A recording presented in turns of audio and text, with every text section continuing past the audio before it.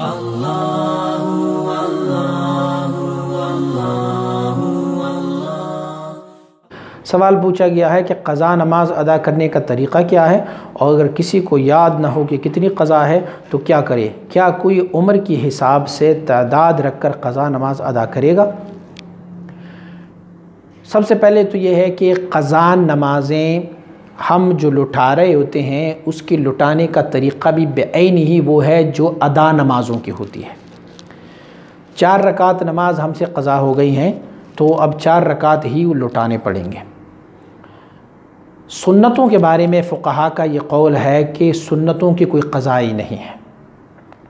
الا مگر فجر کی نماز اگر کسی کی چھوٹ جائے تو ان فجر کی نماز کی طبعیت کی وجہ سے فجر کی سنتیں بھی ساتھ پڑھی جائے۔ صرف ایک تخصیص ہے، کیونکہ فجر کی سنتوں میں بہت زیادہ حضور نبی اکم صلی اللہ علیہ وسلم بارک نے تاکید فرمائی ہے۔ تو فجر کی سنتوں کی قضا جو ہے وہ پھر ساتھ لازمی ہے۔ اور رہ گئی عشاء کی نماز، تو عشاء کی نماز کے ساتھ وطر کی بھی فقہ نے قضا کا حکم دیا ہوا ہے کہ وطر بھی قضا پڑی جاتی ہے۔ اب رہ گئی یہ بات کہ اگر کسی کو پتہ نہ ہو کہ کتنی نماز قضا ہو گئی ہے میری، تو ان کو آٹومیٹکلی اتنا تو پتہ ہوگا کہ کب سے میں نے نمازیں نہیں پڑھی۔ تو اپنے سن بلاغت کو وہ گن لے۔ حضرت امام ابو حنیفہ رحمۃ اللہ تعالی فرماتے ہیں کہ نو سال کی عمر میں بچے کو نماز کی حکم دی جائے اور اگر وہ نماز نہ پڑھی تو پھر اس بچے کو مارا بھی جا سکتا ہے اس پہ۔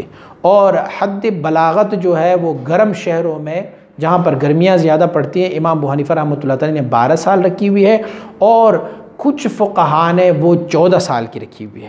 اور ٹھنڈے علاقوں کی حضرت امام ابو حنیفہ رحمۃ اللہ تعالی نے پندرہ سال کی رکھی ہے اور جو لوگ ان سے جو گرم علاقوں میں رہتے ہیں، ان کی عمر جو ہے وہ پندرہ سال سے کم رکھی ہوئی ہے اور جو سرد علاقوں میں رہتے ہیں، ان کا عمر جو ہے وہ بلاغت کا پندرہ سال رکھا ہوا ہے اور کچھ فقہ نے اس سے زیادہ اور کم رکھا ہوا ہے۔ بہرحال اگر ہم پندرہ ہی لے لیں گے تو پندرہ رکھا پندرہ سال کی عمر سے لے کر آپ اپنا حساب لگائیں۔ اب آپ کا عمر تیس سال ہے تو پندرہ سال ہے۔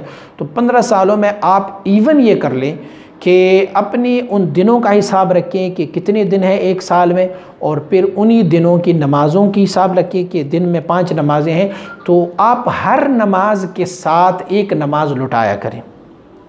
انشاءاللہ العزیز اللہ آپ کو زندگی دیں گے تو ساٹھ سال جب آپ کی عمر ہو جائے گی تو ان پندرہ سالوں کی جو آپ نے قضائی کی ہوئی ہے، وہ بھی انشاءاللہ العزیز اس میں لٹاتے جائیں گے۔ لیکن بہتر طریقہ یہ ہے کہ آپ ہر نماز کے ساتھ قضا شدہ ایک نماز لٹا لیں۔ یہ ان کا احسن اور بہتر طریقہ ہے۔ سلسلہ لیے سیفیہ کی نعتیں، منقبتیں و بیانات و دیگر معلومات سے آگاہ رہنے کے لیے ہمارے یوٹیوب چینل کو سبسکرائب کریں اور اس ویڈیو کو لائک کریں اور کمنٹ ضرور کریں۔